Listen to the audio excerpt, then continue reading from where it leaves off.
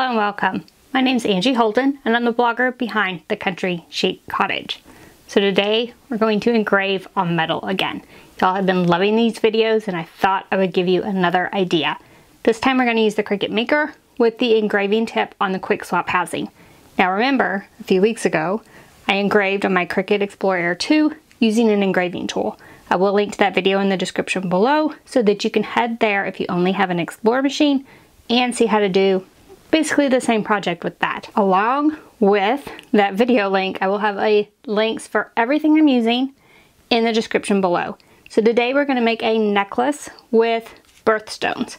So we're gonna engrave names on the necklace and then we're gonna use the ImpressArt hammer along with a really cool crystal setting kit that has birthstones in it that you can use to embellish your engraved projects. So we're gonna do a necklace for this example. But like the same Christmas ornaments I did a few weeks ago, you could add birthstones to those as well. So don't think that this project is only for a necklace. You can get this crystal kit and start adding birthstones to various other projects as well. We're gonna make a little stacked necklace with names and birthstones. I really think you're gonna love this. It'll make an amazing, amazing gift idea. So first, let's look at the supplies we're gonna use. So you will need the blanks to add your names and birthstones to. And I'm gonna use two different sizes and you'll see why in a minute. Then to add the birthstones, you're gonna need the crystal setter kit, which comes with the birthstone gems in three sizes, along with a punch for each size. You'll probably want a pair of tweezers because the stones are pretty small. You will need some type of adhesive to set the stones onto the blanks. Then on the blanks, we're gonna engrave them. I'm gonna use my Cricut Maker. I did a video on engraving metal with the Cricut Explore, and I will link to that in the description below. I'm gonna use my engraving tip with a quick swap housing with my Cricut Maker. You'll also need a stamp enamel marker to make that engraving pop out a little bit more. And when we engrave, you'll need the strong grip mat along with strong grip transfer tape to hold those into place. Then for using the crystal setting kit, we're gonna need a hammer as well as a stamping block. And then we'll need to assemble our necklace. To do that, I'm gonna have a chain, some jump rings, and some jewelry pliers. So now let's take a look in Design Space at designing our engraving. So one of my blanks is one inch and the other is three quarters of an inch. I made these engraving and I will show you why in a minute. And you will need to have a maker machine chosen to make them an engraving line type. So then I added some text. I went ahead and picked out a font that is a writing font. To find writing fonts, you go to Cricut Fonts, click Filters, and choose Writing. Then pick a font you like. The one I'm using is DTC Fall and Flare, so you could use that font if you would like. And then I made the font fairly small. So what's gonna happen is these two are gonna stack on top of each other. So I wanna make sure that my writing does not extend over into this one. So I might even make it a little smaller just to make sure that it does not overlap. And so now my font is a 9.47. So we'll go ahead and make that 9.5. And then we'll make the font for the other one 9.5 as well. The next thing we want to do is make these fonts fit these circles. So I'm going to pull the font up onto the circle and then I'm going to pick the curve option. It will be a negative curve because you want it to go down and you want it to go around this circle pretty much exactly. So you can play with the curvature and the diameter until you get something that looks the way you want it to look. So that looks about right. So we'll leave that one just like that. And we'll go ahead and pull this one up and curve it as well. So the curvature of this one is different from the curvature of this one. So the curvature of this one is a negative 0.721 and the curvature I ended up on this one is a negative 0.421. That's because the diameters of the circles are two completely different things so you don't want to make them the same curvature. So now we're going to pick the font and I want to pick engrave. Again, pick this font and pick engrave. So now we're ready. Now, I have not attached these two together, and I, in fact, I don't want to. So we're gonna leave these all as just engrave lines. Then we're gonna go ahead and click make it and take a look at what this means on our mat. All right, so we have the two circles, we have the two names. What I'm gonna do is take these circles and move them to where I'm going to put them on the mat. So let's say this first one, I am going to put it where the top and the side are on the one inch marks. So top on the one inch mark, side on the one inch mark. And then I will move, this is the larger of the two circles, so it gets this name.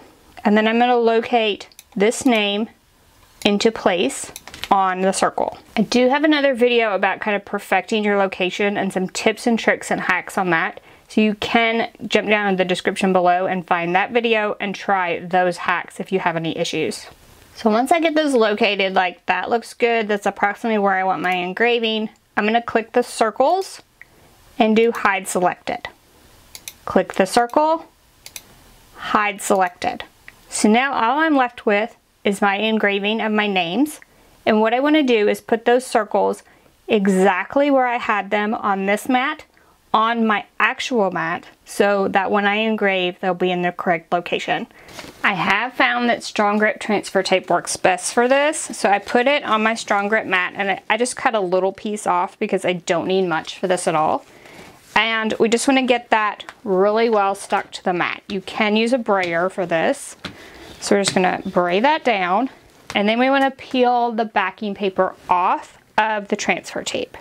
So we'll just leave the transfer tape stuck to the mat and peel that backing paper back. Then once that's on there, we're gonna locate the blanks just as we located them in Design Space a few minutes ago. So the one and one inch mark for our largest one, you can see I have that located at the one and one inch mark. And then the other one I located at the one and three inch mark. And you do want to put the hole at the top. And then once these are on that strong grip transfer tape, we're going to press those down really well. I like to go over them with a brayer once again. And now let's take a look at our machine settings. So now that we have those circles on our mat, we'll click continue. And once the maker is connected, we'll hit browse all materials. And this is most like stainless steel. So we're gonna pick that. You would just pick whatever material or blank that you choose and click done. Now it tells us to load our engraving tool in clamp B and load our mat. So let's head to our machine and see how this works. So now that everything's ready, I have my engraving tip with quick swap housing installed in my maker and now I can load my mat. So now that the maker is ready, we'll click the go button to start engraving.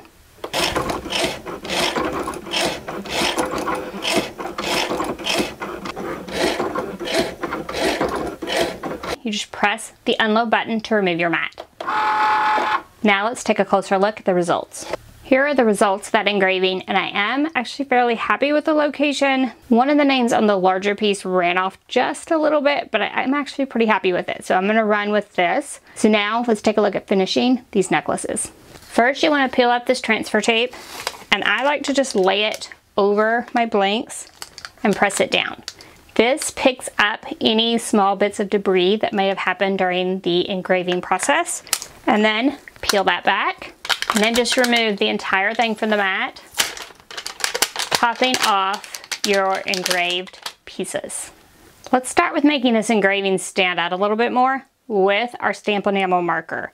So we're just gonna rub it onto the engraving, allow that to sit a few minutes, and then wipe it back off. This marker will get down in the engraving and make it pop just a little bit more. I'm using black, but there are several colors available. Once it's dried just a minute or two, we'll just wipe off all that excess. Then all you're left with is a darker engraving on your piece. Now it's time to add an indention where each of the stones will go. So I have my three stones picked. I'm using the middle kit, which is the 2.5 millimeter stone. This kit does have a guide on the back to tell you which birthstone is for which month, so you don't have to worry about that. I did need that. All right, so what you're gonna do is take the punch. The punch, again, comes with the kit along with the stones, and you're gonna decide where you want your stones. So I'm gonna put two stones on this bottom one, one stone on the top. Just wanna locate the punch where you want your stone. I have it on the stamping block. I'm gonna strike it with the hammer.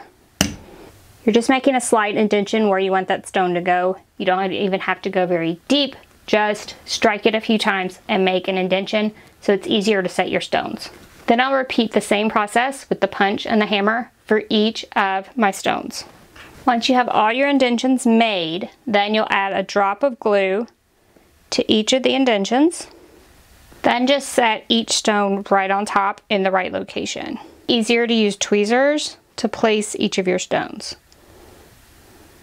And then we're just gonna allow these to dry before we assemble the necklace. There we have our necklace pieces ready to dry.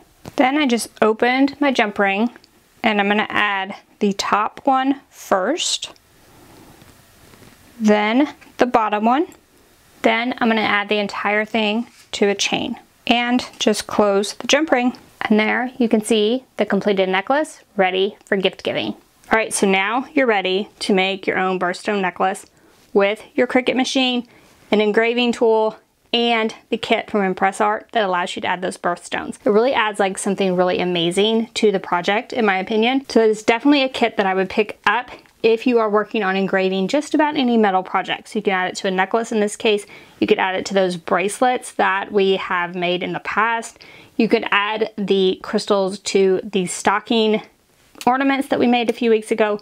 Like tons of different blank options on the ImpressArt website. And you can add the crystal setting kit to those and add a little something extra special to your projects. Now, if you're looking for the supplies for this, you're gonna look in the description below the video. If you are watching on computer, there's gonna be a description and a show more button. Click that show more button. If you're watching on mobile, there's probably an arrow to expand the description, or depending on how you're watching, you might have to swipe up on the video. Either way, you should see a long description, supplies, links to other videos, all the information that you need to be successful making this project. So if this video helped you, be sure to give us a thumbs up. Ask any questions you have in the comment section below. And as always, be sure to hit that subscribe button for our YouTube channel we have videos like this all the time, and trust me, you don't want to miss any of those. So thank you guys so much for joining me, and I'll see you next week. Bye-bye.